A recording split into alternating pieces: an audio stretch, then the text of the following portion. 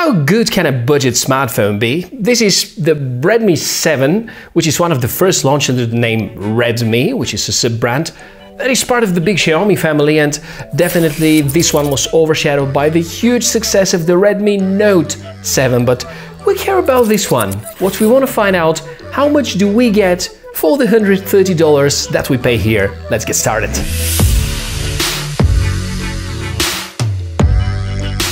Welcome everybody, Tech4All channel. My name is Michael and like many of you have requested, I'll try to give you more reviews about budget-friendlier smartphones. So this is as budget-friendly as it could get for a decent brand. The Redmi 7 which is the weaker version of the Redmi Note 7 that you most certainly have heard about with um, one of the first on the market 48 megapixel camera, but it's not the thing over here. We're going to review this phone a few months after its initial release and we're of course going to expect the global version with 2 gigs of RAM and 16 gigs of local storage. From the Redmi family, it's a reasonable choice which is just above $100 and its highest spec versions are below 150, so definitely it would be a good purchase for 2019. You can find and buy this phone pretty much everywhere and I managed to get some good discount codes for you and you can find more information in the description below the video. In this review, focus more on the features that make this device stand out. And that would be kind of an easy summary, especially knowing that it has been for a few months on the market already. So the first thing I'm gonna begin with is the cameras, cameras. Okay, we're gonna start with the camera. Nowadays, more than ever, our smartphone is replacing the need for using a dedicated camera. Long story short, it is a good, affordable model with a dual lens setup that outputs photos at 12 megapixels. Supports phase detection autofocus. The pictures from the main cameras are rendered at 12 megapixels and the camera app is rich in options. Besides the different shooting modes, you count on a Pro mode, which gives you more manual photo settings. Daylight photos are as expected good, sharp with a lot of detail and we will start noticing the actual weaknesses of the cameras should it get darker. Time for some video samples, and this one is recorded with the main set of cameras. Full HD resolution because this is the maximum, and the maximum can go as high as 1080p at 60 frames per second. There also is slow motion. Don't count on it that much, you know. I've tried numerous applications to enable 4K recording, but nothing from what I've tried worked, and looks like Xiaomi have done a good job in limitation of, of recording 4K, so it's it's maximum full HD resolution, which is nothing bad. The bigger disadvantage is that it lacks any kind of stabilization. No optical, no electronic image stabilization, which makes your videos shaky. Right now it's steady because I'm using iSteady Mobile Plus. It's a gimbal, and uh, this is one of your options. The other option to get a stable video, and actually something which is going to bring the photography capabilities of this camera to a different level, although just software enhancement, is the Gcam app. It's, it's a ported version of the Google camera that you can find on Pixel phones. And I've placed a link in the description right below the video so you can get it and see how better the low light photos and videos are going to become using the Gcam app. The big advantage is that as soon as you record the video, although without any kind of stabilization, you upload it to Google Photos, and then Google's algorithm is going to stabilize that. Oh, and yeah, we just did a microphone test as well. Concerning the videos, let me present you the sponsor of this video, which can help you a lot in that area. It's an awesome tip for simple video editing called VideoProc. It's the one-stop video processing software. With full hardware acceleration, you can cut, crop, merge and add tons of effects to the scenes that you've shot. And this is how easy I can make my Redmi 7 videos shine. More information about it you will find in the description below the review. We made it to the second big part over here. That's the display with this, I would say, good-looking drop notch.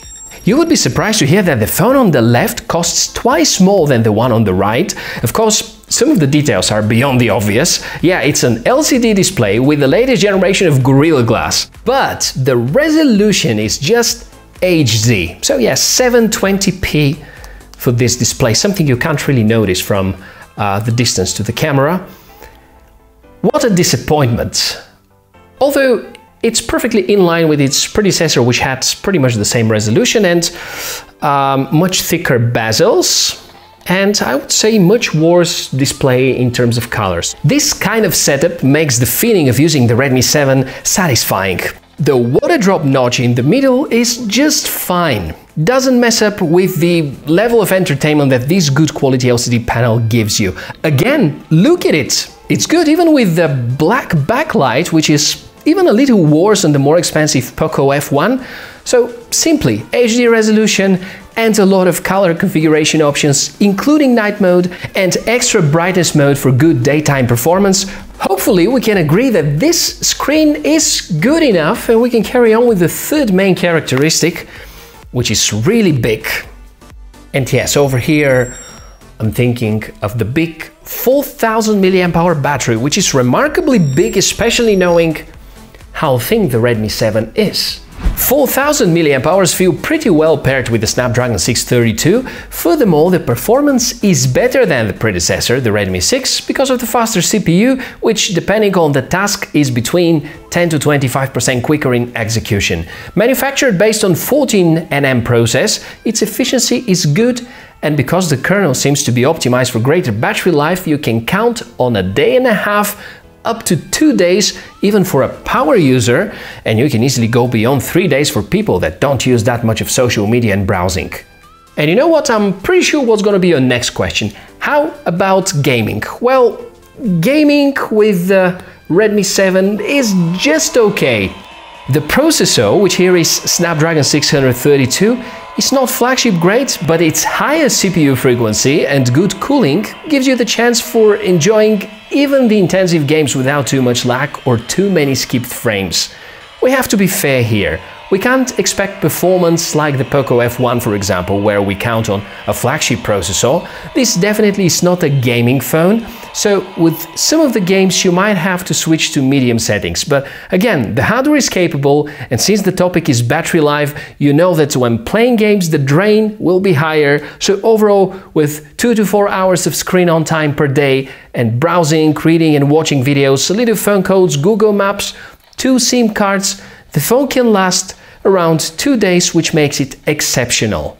You've got 4000 mAh battery packed with a low resolution display and not very power hungry processor. So even for these three characteristics packed at $130, um, that makes the Redmi 7 quite a good choice. But it's not just that. Expandable storage with a dedicated slot, meaning instead of the well-known either a second SIM or a micro SD card, you can have two SIMs and still take advantage of external storage, Bluetooth 4.2, FM radio, silicon case that comes out of the box, quick charge, infrared blaster for remote control. The extra features are so many that it's tough to believe a budget 2019 model can do that much. Of course, last but not least, we're gonna talk about the price, which is really attractive. It's somewhere between $125 and 150 depending on the configuration. And when I say configuration, whether it's gonna have 2 gigabytes RAM and 16 ROM, or it's to be 3 gigabytes of RAM and more internal storage, it could vary. Because my primary goal every single time is to give you as fair reviews as possible, here are some disadvantages. No NFC. It doesn't surprise us at the price of 130. The charging port is micro USB. Camera, mm, although better than the previous generation, it's not that good. You can partially improve using Google Cam application, but there's no stabilization when shooting video, no 4K, and the MIUI feels rather heavy on that CPU. And I would certainly see criticism about the build quality, although if you often watch my reviews, I have nothing against plastic on the smartphones. It's not as premium feeling as metal or glass. If you're looking for a smartphone which is a little bit more expensive than this one and way better, I would say you should think about the Redmi Note 7. Uh, earlier I called it the bigger brother. Uh, it's bigger in terms of specs because on the outside it's um, rather the same scale. But definitely for 30 $40 more you get a much higher spec smartphone with a 48 megapixel sensor. Well, don't think it makes 48 megapixel photos, it's just a marketing trick. Now, questions are two. First of all, um, Redmi 7 or Redmi Note 7? You know, what is more important, uh, budget or performance? And secondly, $130. Which is a phone that beats this one? Do you know such a model? I'm trying to start a conversation in the comment section below the video where I'm looking forward for your ideas and creative answers. My name is Michael. It's been so great to have you around in the last few minutes and looking forward to see you around. Make sure to subscribe, hit the like if you enjoyed the video and see you in the next episode. Bye!